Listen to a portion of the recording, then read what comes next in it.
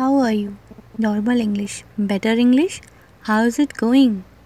Better English. How is it going?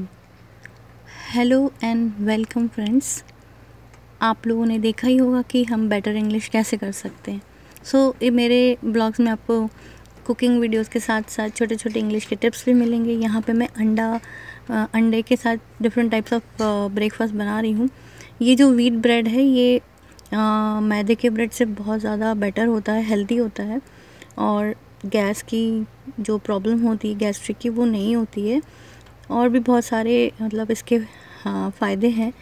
तो मेरे ख्याल से वीट ब्रेड बेटर होता है।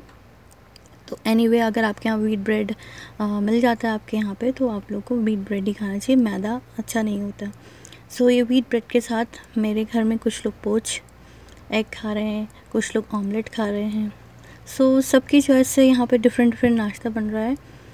आ, कुछ गोल और कुछ टेढ़े मेढ़े ऑमलेट्स खैर अब नाश्ते के बाद ये मैं लंच में हाथ की रोटी बना रही हूँ। हाथ की रोटी बनाना बहुत इजी होता है। आ, आप नॉर्मल आटे की भी बना सकते हो कोई भी आटे की बना सकते हो। तो बस मन था आज की रोटी खाने का हमारे यहाँ लोगों को तो मैंने बना दिया। ये कुछ इंग्लिश के टिप्स मैं बीच बीच में डालती जा रही हूँ। For better English and right English आप लोग पॉज करके देख लीजिएगा।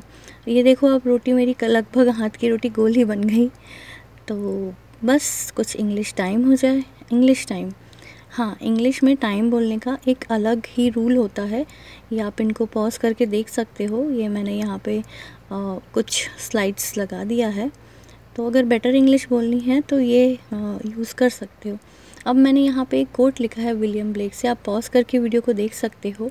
यहाँ पे ये है कि अगर हम, हमारी सोच को हर समय एक जैसी रखते हैं तो हमारा माइंड स्पॉयल हो जाता है।